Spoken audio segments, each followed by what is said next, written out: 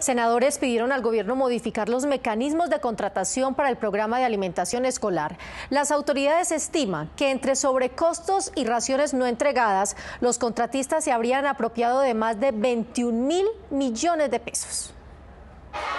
Como alarmante y dolorosa, senadores calificaron la situación que viven miles de menores a quienes por cuenta de la corrupción no se les está suministrando la alimentación adecuada a través del programa de alimentación escolar PAE.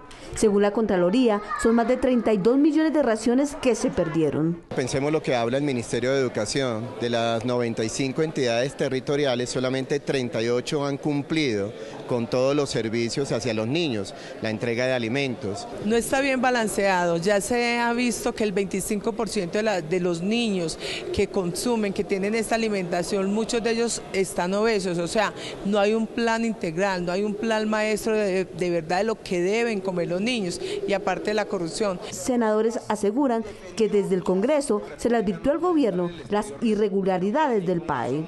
Desde el año 2010 hemos advertido en tres controles políticos. Cuando se pasó el plan de alimentación escolar del ICBF al Ministerio de Educación Nacional y este por ende a los entes territoriales departamentales, advertimos de que iba a ser una mutación del problema, que no había ningún tipo de solución de fondo estructural que favoreciera a la niñez colombiana.